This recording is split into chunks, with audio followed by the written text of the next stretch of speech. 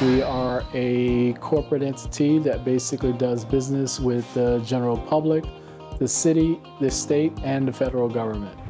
We do prepared meals, we do goods and services to uh, multiple agencies, and we're also looking at expanding and opening our first restaurant inside of Bay Plaza.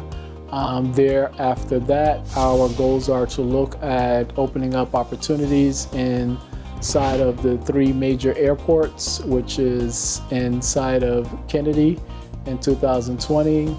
In 2019, we're looking at LaGuardia, and in Newark Airport, we're looking for 2021. Receiving this award uh, is truly an honor.